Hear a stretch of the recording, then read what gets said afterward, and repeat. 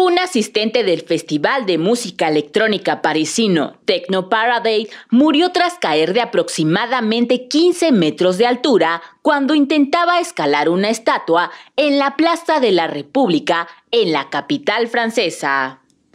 Se desconoce si el joven se encontraba en estado inconveniente al momento de caer, pero varios videos que circulan en las redes sociales captaron el instante en el que éste resbalaba y se impactaba contra uno de los pedestales de la estatua antes de aterrizar en el suelo.